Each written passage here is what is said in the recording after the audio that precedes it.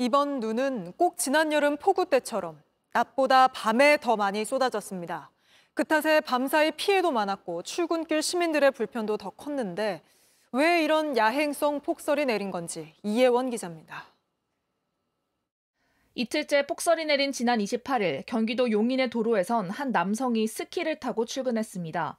밤새 내린 눈 때문에 대중교통을 이용할 수 없었던 겁니다. 실제 용인은 27일 오전 8시부터 눈이 쌓이기 시작해 낮 동안 20cm가 쌓였습니다. 그런데 해가 진 뒤 4시간 만에 10cm가 더 쌓였습니다. 새벽 5시엔 40cm를 넘겼고 마지막엔 47.5cm를 기록했습니다. 대부분 지역에서 이렇게 낮보다 밤에 더 많은 눈이 내렸습니다. 원인은 뜨거운 바다와 밤낮의 기온차 때문이었습니다. 최근 서해 온도는 15도 안팎으로 평년보다 따뜻합니다. 대기와 해수의 온도 차가 클수록 눈 구름대는 크게 발달합니다. 밤에는 낮보다 기온이 크게 떨어지면서 기온차를 더 벌려 눈구름을 더 크게 만든 겁니다. 게다가 낮에 내린 눈도 녹지 않아 더 많은 눈이 쌓이게 됐습니다.